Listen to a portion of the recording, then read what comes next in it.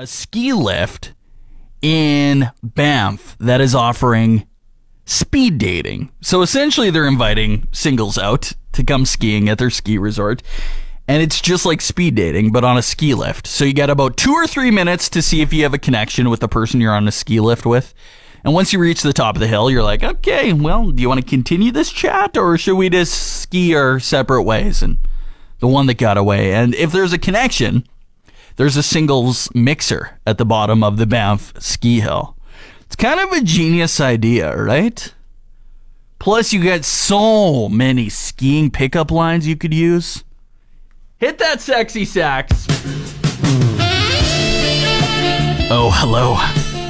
Want me to jump off this chairlift? Because I think I could fall for you. I think I'm on the wrong chairlift. I didn't know this chairlift went to heaven. It's really windy up here. Really windy. Is that the wind or are you just blowing me away? Do you like my ski pole? There's supposed to be six inches tonight of snow. Snow! Get your mind out of the gutter. Come on. The Travis Stewart Show on 100.5 Cruz FM.